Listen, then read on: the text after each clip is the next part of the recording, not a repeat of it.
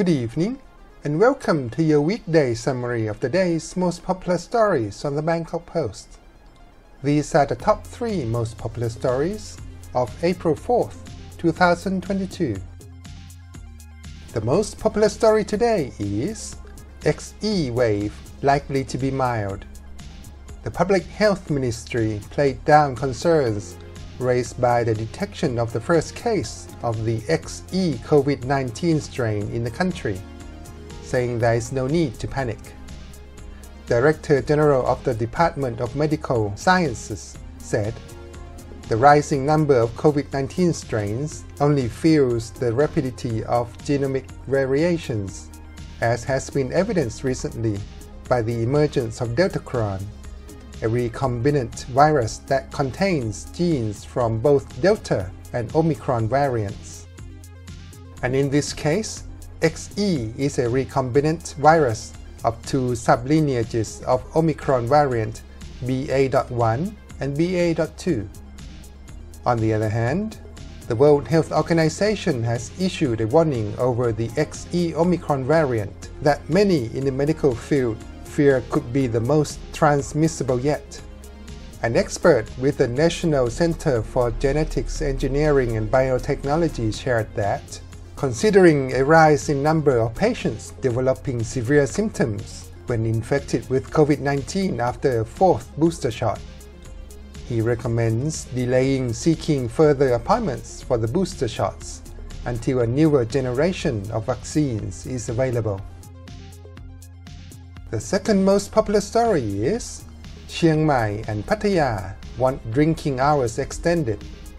Restaurants in Pattaya and Chiang Mai want selling hours for alcohol extended until midnight or 1 a.m. during the Songkran holiday period to shore up their flagging business and suffering under COVID restrictions.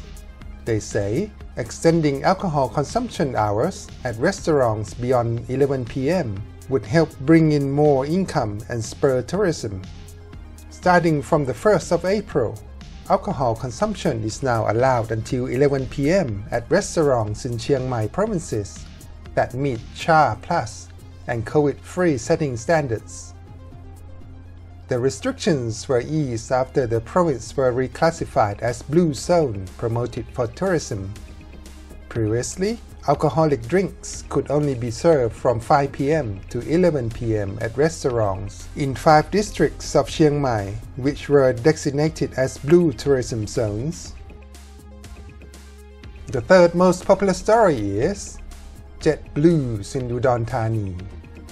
In September, locals living in vicinity of Royal Thai Air Force's airbase in Udon Thani lodged a petition with the House Committee on Foreign Affairs about the noise pollution which aircraft in the area produce. The airbase is used as training ground for Thai and Singaporean fighter jet pilots and as transport station for civilian airlines. According to specialists with the Pollution Control Department, sound levels detected during exercises measured 64.8 to 65.2 decibels, which is too loud for residential areas. The airbase is used by civilians and military aircrafts.